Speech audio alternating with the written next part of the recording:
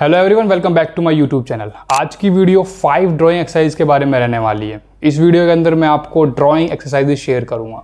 ये video specially मैंने उन लोगों के लिए बनाई है जो या तो बिगिनर हैं, या तो जर्नी स्टार्ट कर चुके हैं, पर ड्राइंग के लेवल पर आकर कहीं ना कहीं अटक जाते हैं। तो आज की वीडियो में आपको पाँच ऐसी एक्सरसाइज बताऊँगा जो मैं खुद भी प्रैक्टिस करता हूँ। एंड अगर आप भी प्रैक्टिस करोगे तो टाइम के साथ आपको ग्रोथ देखने को मिलेगी। मेरी सभी वीडियोस काफ़ी ज़्यादा इन्फॉर्मेटिव होती है। एंड सभी वीडियोस के अंदर मैं कुछ ना कुछ एजुकेटिव कंटेंट प्रोवाइड करने की कोशिश करता हूँ। तो सभी वीडियोस की तरह ये वीडियो भी काफ़ी ज़्यादा इन्फॉर्मेटिव रहने वाली है। वीडियो को पूरा एंड तक देखना। वीडियो पसंद आती है तो वीडियो को लाइक कर देना। चैनल को सब्सक्राइब कर लेना, ताकि मुझे मोटिवेशन मिलता रहे और ऐसी वीडियोस बनाने के लिए। अगर आप इस चैनल पर पहली बार आए हो तो मेरी पुरानी वीडियो ज़रूर चेकआउट करना। आपको काफ़ी ज़्यादा इन्फॉर्मेशन मिलेगी। इस वीडियो को पूरा ध्यान से देखना, क्योंकि जो भी एक्सरसाइज मैं बताऊँगा, अगर आप उसको अच्छे से प्रैक्टिस करते हो तो ये पाँच एक्सरसाइज आपको बहुत ज़्यादा हेल्प करने वाली है एंड आपकी ड्राइंग को एक अलग लेवल पर लेकर जा सकती है। तो अब हम अपना लेक्चर कर सकते हैं स्टार्ट एंड समझते हैं फाइव ड्राइंग एक्सरसाइज के बारे में।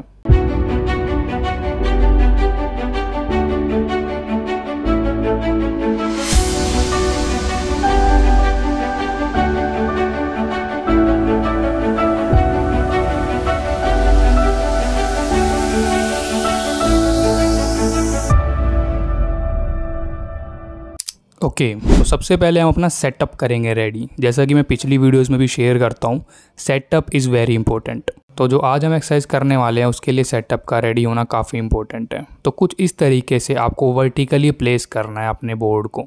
अगर आपके पास बोर्ड नहीं है तो आप दीवार पर भी लगा सकते हो सेटअप अपना। एंड एक बड़े साइज़ का पेपर लेना है जैसे कि यहाँ पे मैंने हाफ़ इम्पीरियल साइज़ का पेपर लिया है। एंड इसको कुछ इस तरीके से वर्टिकली प्लेस करना है। हालाँकि थोड़ा सा टिल्टेड है ये अगर थोड़ा सा टिल्टेड भी रहे तो भी चल जाएगा। पर ऐसे वर्टिकली होना चाहिए।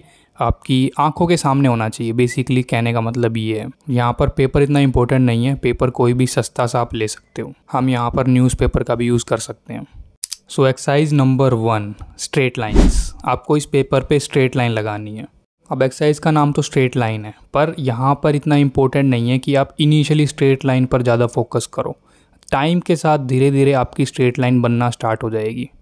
पर उससे पहले क्या चीज़ इंपॉर्टेंट है? उससे पहले इंपॉर्टेंट है आपके हाथों का मूवमेंट बड़े साइज़ का पेपर लेने का मकसद ही है कि आपके हाथों की मूवमेंट हो। आपके हाथ जितने ज़्यादा स्ट्रेच हो सकते हैं, उतने ज़्यादा स्ट्रेच हों।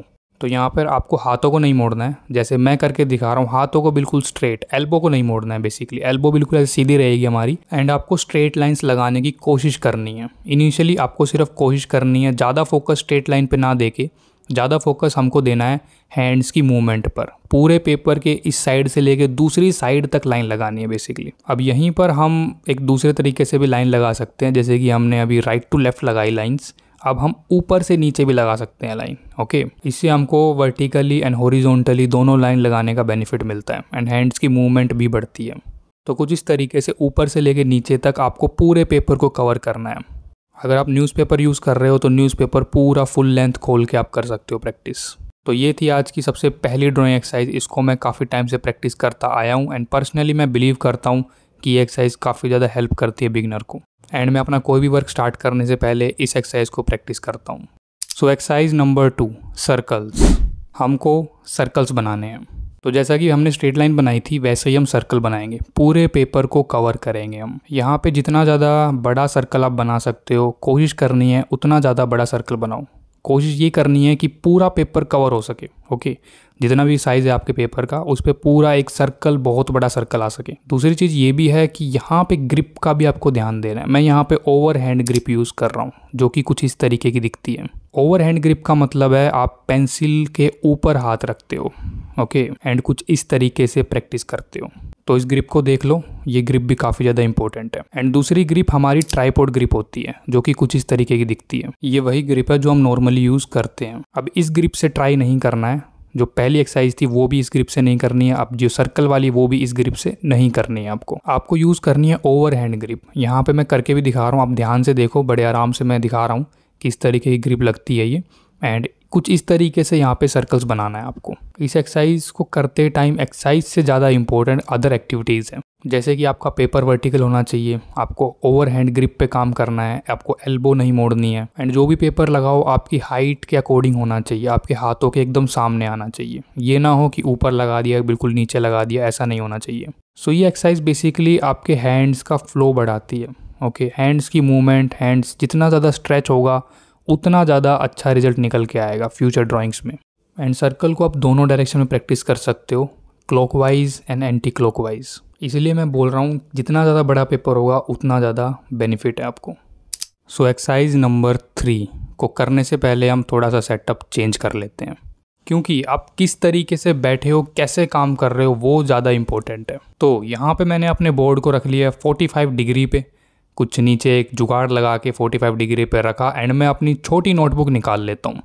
एक पेंसिल हमको चाहिए होगी इस एक्सरसाइज को करने के लिए एंड अब हम स्टार्ट करते हैं अपनी एक्सरसाइज सो so, ये एक्सरसाइज काफ़ी ज़्यादा इम्पोर्टेंट है। इस एक्सरसाइज का नाम है सिंप्लीफिकेशन इस एक्सरसाइज के बारे में अपनी काफ़ी सारी वीडियोज़ में बात करता रहता हूँ। आज मैं आपको बताऊँगा मैं कैसे प्रैक्टिस करता हूँ इसको।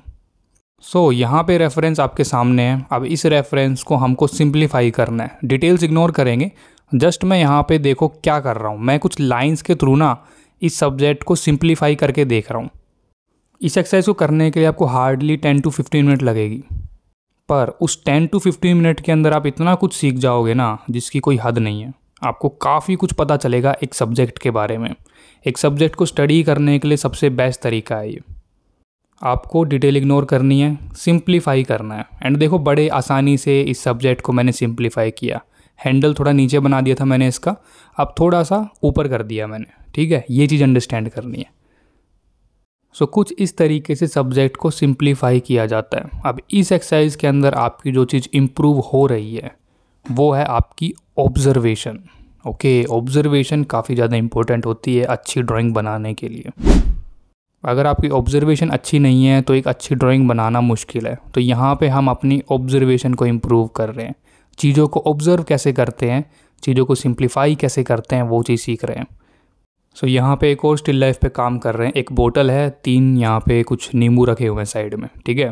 तो इसको भी मैं सिंप्लीफाई करूँगा। अब नींबू के लिए मैं स्ट्रेट लाइन लगा सकता था पर मुझे लगा कि सर्कल्स में थोड़ा ज़्यादा सिंप्लीफाई हो जाएगा। तो यहाँ पे मैंने सर्कल का यूज़ किया। एंड यहीं से निकल के आता है हमारा पॉइंट नंबर टू आपको सिंप्लीफाइड शेप्स का यूज़ करना है ओके जैसे कि हमारा सर्कल हो गया लाइंस होगी। बेसिकली दो का यूज़ करता हूँ मैं एक हमारा सर्कल एक हमारा लाइंस ओके बोतल के लिए मैंने यहाँ पे लाइंस का यूज़ किया एंड जो नींबू रखे हुए हैं यहाँ पे, उसको मैंने सर्कल में डिवाइड किया। ये दो शेप मोस्टली आप सभी जगह पर अप्लाई कर सकते हो ओके इन दो शेप से एक सब्जेक्ट को सिंप्लीफाई करना काफ़ी आसान है। एंड डिटेल्स में नहीं जाना है, बिल्कुल भी ऐसे, बिल्कुल एक एक कर्व आप बना रहे हो हाईलाइट दे रहे हो, ये हमारा मकसद नहीं है। हमको ड्राइंग इंप्रूव करनी है, हमको ऑब्जर्वेशन इंप्रूव करनी है okay so let's take another example यहाँ पे मैं एक और एग्ज़ाम्पल ले रहा हूँ। एक डिफरेंट सी शेप है यहाँ पर एक बोतल की ओके सो so, ये पूरी स्टिल लाइफ थी बट इस पूरी स्टिल लाइफ में मैंने सिर्फ़ इस सब्जेक्ट पे फोकस किया। एंड इस सब्जेक्ट को कैसे मैं सिंप्लीफाई कर रहा हूँ वो आप देखो। ठीक है? कुछ स्ट्रेट लाइन में मैंने डिवाइड किया एक बोतल की जो नेक है उसको एंड जो नीचे का जो इसकी बॉडी है ओके इसको मैंने देखो कैसे सिंपल कुछ स्ट्रेट लाइन में डिवाइड कर दिया ओके यही चीज़ सीखनी है। यही चीज़ मेन है इस एक्सरसाइज के अंदर। बहुत ही ज़्यादा इजी है, बहुत ही ज़्यादा आसान है मतलब करना और इसीलिए बिगनर समझते हैं कि यार क्या ही हो जाएगा इससे, कितना ही इम्प्रूव हो जाएगा। पर बिलीव मी अगर आप इसको रेगुलरली प्रैक्टिस कर रहे हो तो आपको देखना आ जाएगा और एक आर्टिस्ट को अगर देखना आ गया तो ड्रॉ करना बहुत आसान हो जाता है। एक आर्टिस्ट के लिए पहली स्टेज ही ऑब्ज़र्व करना होता है मतलब चीज़ों को देखते कैसे हैं, वो सबसे इम्पोर्टेंट है। सभी को लगता है कि ड्रॉ करना इंपॉर्टेंट है। जितनी ज़्यादा रियलिस्टिक प्रैक्टिस करेंगे उतना ज़्यादा इंप्रूव होगा। पर ऐसा नहीं है।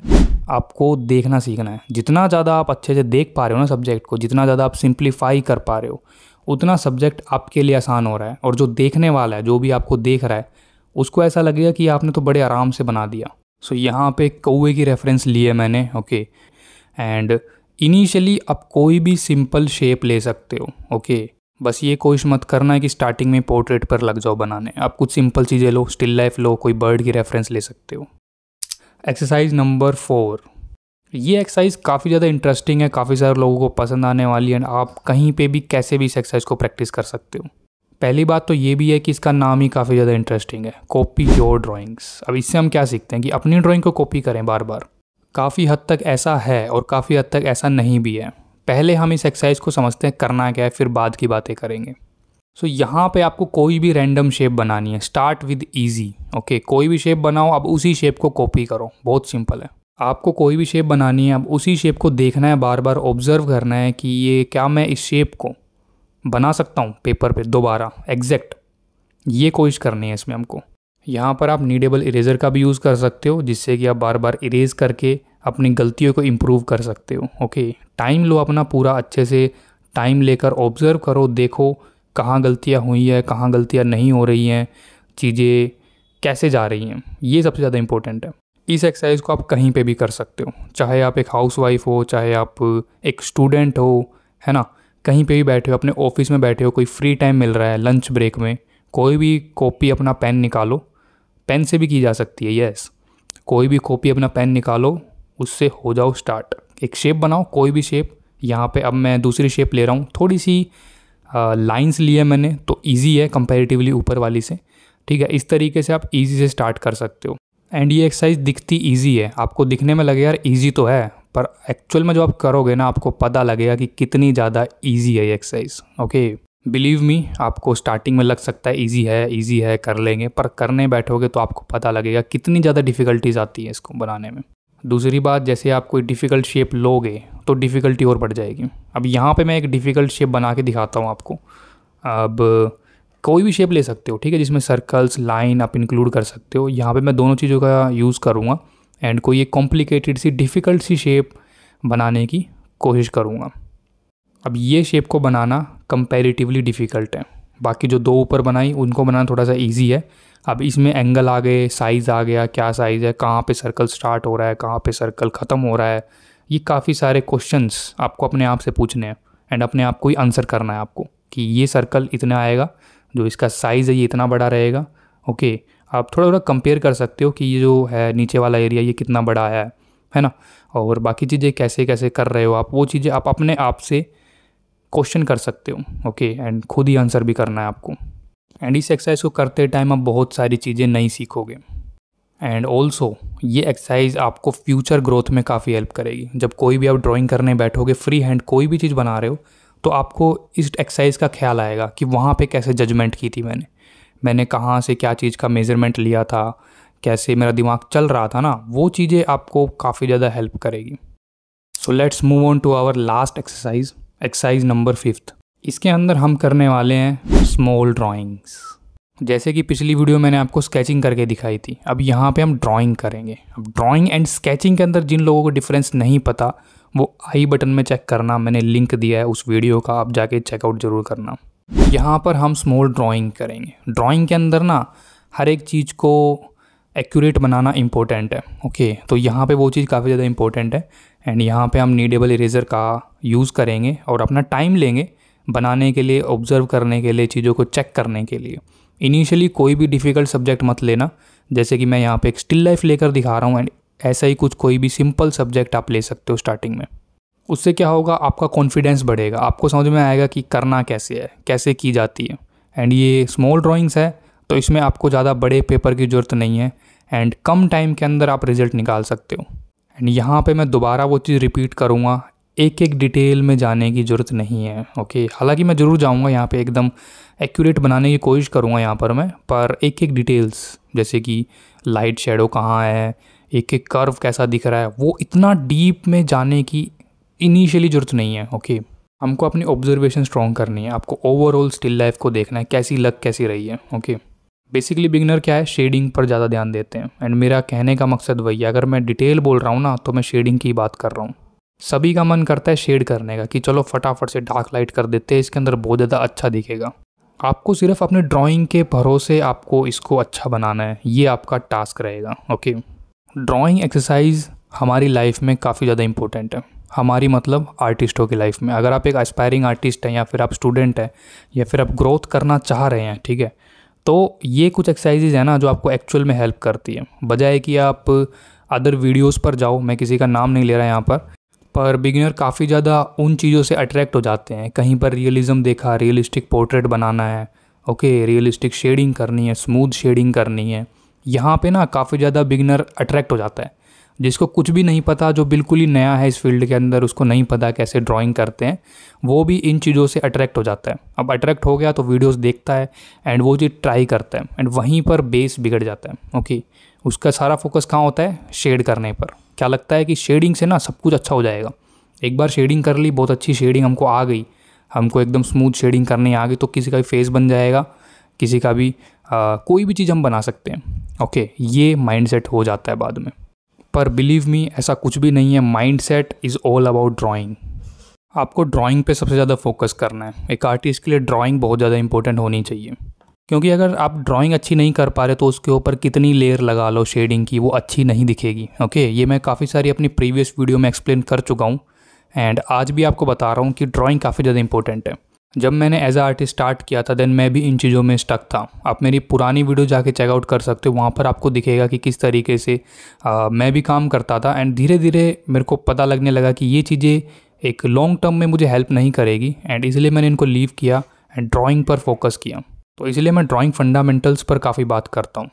एंड ये वीडियो भी ड्राइंग फंडामेंटल सीरीज़ का पार्ट है। जिन लोगों को बिल्कुल स्टार्टिंग से बिगिनिंग से ड्राइंग को सीखना है, वो इस वीडियो को ज़रूर देखो एंड फॉलो करो। देखने से काम नहीं चलेगा आप जितनी ज़्यादा आप प्रैक्टिस करोगे, उतना ज़्यादा आपका अच्छा होगा, उतना ज़्यादा आपका इंप्रूव होने वाला है। एंड यहाँ पर आप देख सकते हो स्टिल लाइफ को मैं काफ़ी अच्छे से ऑब्ज़र्व कर रहा हूँ धीरे धीरे ऑब्ज़र्व करके मैंने इसको डेवलप कर दिया ओके स्टिल लाइफ को बनाते वक्त मेरा मेन मकसद ये था कि इसके प्रपोर्शन सही जाएँ, जो इसके पीछे जग रखा है, जो फल फ्रूट रखे हैं आसपास, उनका साइज़ कितना बड़ा या कितने कंपेरेटिवली छोटे हैं। ठीक है, अंगूर इसके ऊपर रखे, उनकी हाइट कितनी है? ये चीज़ों पे थोड़ा ज़्यादा फोकस था। एंड मैं भी यही बोलूँगा आपको कि इन चीज़ों पे ज़्यादा फोकस रखो, क्योंकि अगर ये चीज़ सही बैठेंगी तो ऑटोमेटिकली आपकी स्टिल लाइफ अच्छी लगेगी। अगर आप इन चीज़ों पे काम नहीं करते, मान लो आपने फ्रूट्स जो आगे रखे हैं, उसको छोटा बना दिया, है ना? जग काफ़ी बड़ा हो गया तो ओवरऑल आपकी स्टिल लाइफ अच्छी नहीं लगेगी, आपकी कंपोजिशन सही नहीं बैठेगी। तो ये चीज़ काफ़ी ज़्यादा इंपॉर्टेंट है। हल्की हल्की हैचिंग भी कर रहा हूँ मैं यहाँ पर।